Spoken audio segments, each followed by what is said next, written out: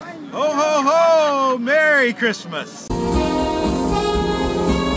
have live entertainment. We have a tonight opening. We have a Keri Hilson to go to perform